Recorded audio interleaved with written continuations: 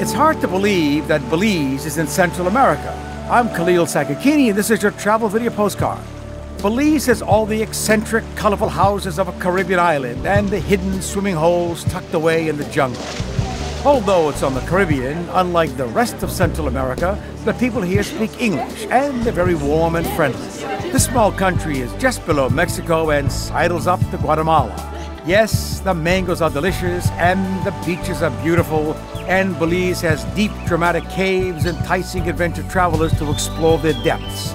But Belize also has the remnants of a rich Mayan civilization, side by side, but some funky Art Deco places. We love Belize. We love the jungle treks and the slower pace of life. We love the colors and the guacamole subs. And most of all, we like that we were treated like family. Watch our travel video postcards and travel alerts.